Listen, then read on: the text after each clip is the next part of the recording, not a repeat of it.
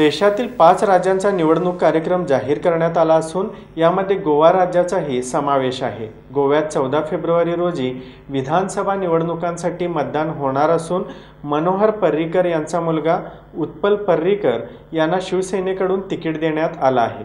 गोव्यात एकाच टप्प्यात मतदान होणार असून दहा मार्च रोजी अन्य राज्यांबरोबर मतमोजणीही होणार आहे. महाराष्ट्राप्रमाणे गोव्यातही महाविकास आघाडी अस्तित्वात येण्यासाठी शिवसेना नेते खासदार संजय राऊत प्रयत्नशील आहेत.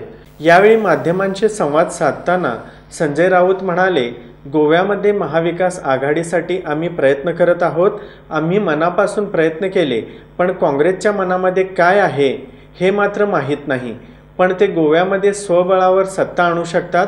काँग्रेसने आम्हाला काही जागा दिल्या आहेत. आमच्यासोबत राष्ट्रवादी काँग्रेस पक्ष आहे. आम्ही प्रयत्न करत आहोत पण शिवसेना गोव्यात निवडणुका लढवणार आहे. असं संजय राऊत यांनी सांगितलं. पर्रीकरांच्या कुटुंबाने हिंदुत्ववादी म्हणून शिवसेनेसोबत संबंध जोडण्याचा प्रयत्न केला तर नक्कीच शिवसेना त्यांच्यासाठी ताकद पणाला लावेल असं संजय राऊत यांनी यावेळी माध्यमांशी स्पष्ट केलं. तर अशाच ताज्या अपडेट्ससाठी speed news live twenty four चॅनेलला सबस्क्राईब करा आणि बेल आयकॉनवर प्रेस करा.